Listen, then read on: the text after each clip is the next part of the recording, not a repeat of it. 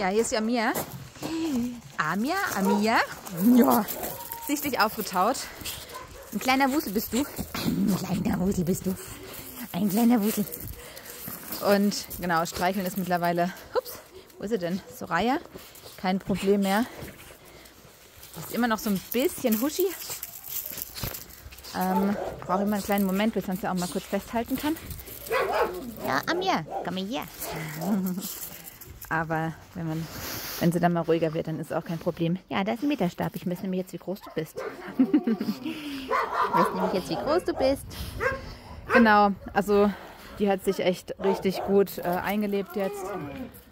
Und ja, hat immer noch ein besonderes äh, Fellkleid. Aber man muss ihr leider die ganzen Hosen hinten wegschneiden. Die waren komplett äh, verfilzt. Und es darf jetzt alles wieder schön nachwachsen. Hui! Genau, super verspielt. Ähm, ja. Ja, ja, ja.